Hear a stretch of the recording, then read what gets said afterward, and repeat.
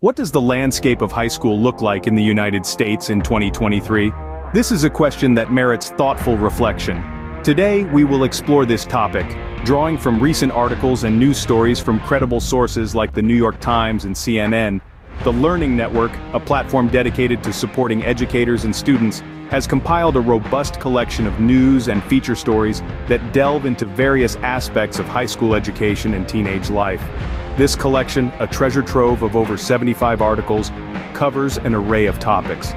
These range from exploring the purpose of school, understanding different learning styles, examining the impact of identity on learning, to the unique aspects of individual schools and the curriculum.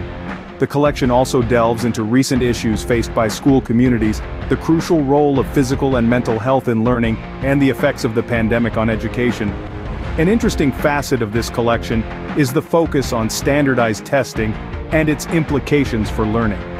These resources, free to access, offer a comprehensive view of what high school is like in 2023.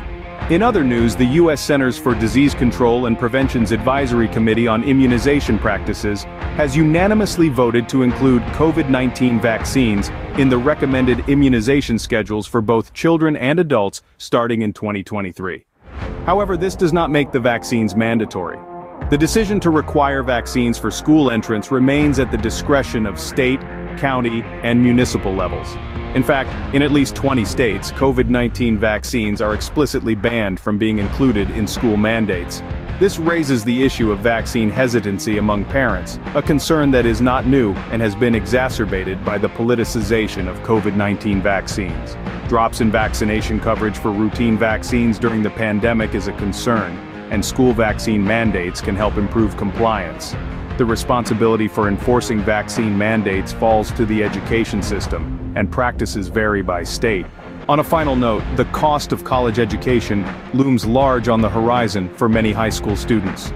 With the average all-in cost for undergraduate students totaling nearly $28,000 for public four-year, in-state students, the financial burden can be significant. However, strategies such as earning college credit through dual enrollment in high school, filling out the FAFSA, attending in-state schools, considering community college for the first two years of college, applying for scholarships and utilizing military service benefits can help students manage these costs. In summary, the high school landscape in 2023 is a dynamic one, shaped by a myriad of factors including curriculum, standardized testing, the impact of the pandemic, vaccination policies, and the looming cost of college education.